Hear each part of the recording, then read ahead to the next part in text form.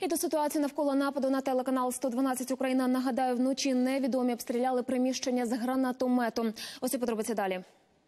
Все сталося сьогодні о третій ночі. До поліції зателефонували мешканці Шевченківського району, які почули вибух. Коли ж на місце події прибули патрульні, виявили пошкоджений фасад будівлі телеканалу. Пострілом стіну будівлі пробило наскрізь, проте ніхто з працівників 112-го та перехожих не постраждав. Правоохоронці відправили на експертизу відстріляний тубус від гранатомета, який знайшли неподалік. Відкрили кримінальне провадження за статтею теракт.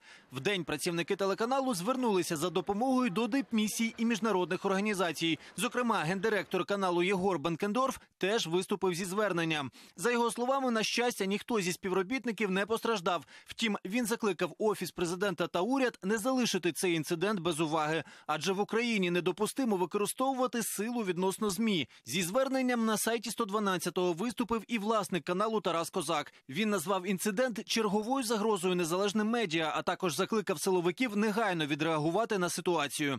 З обуренням виступила також міжнародна редакційна рада каналу. Її члени підготували лист, в якому закликали втрутитися у ситуацію міжнародну спільноту українських силовиків та президента. Вони наголосили на тому, що в Україні регулярно порушують права змі. Тож готують лист до правозахисних міжнародних організацій. Нагадаємо, у вересні 16-го стався напад і на службу інформації телеканалу Інтер. Зокрема, наш офіс підпалили. Силами журналістів та нардепів було проведено власне розслідування. І, врешті, справу правоохоронці кваліфікували як теракт. Втім, слідство досі не завершено і винні не покарані.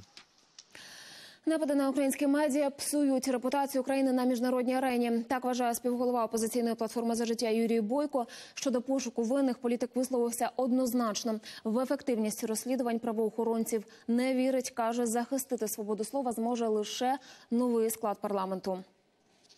Они боятся, что выйдут на своих же представителей, которые организовывали все эти террористические акты. Я не верю в э, справедливость правосудия сегодня, потому что сегодняшняя власть демонстрирует абсолютную бесхребетность в борьбе с националистами и одновременно жестко преследует политических оппозиционеров. Запугать э, журналистов телеканала, не говорить правду и разбежаться.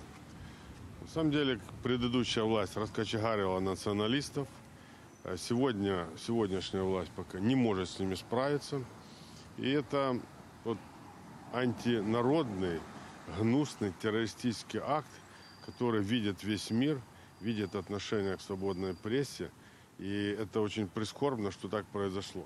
Мы категорически осуждаем подобные проявления и считаем, что правительство, власть, государство должно немедленно принять меры для того, чтобы расследовать этот инцидент и наказать виновных.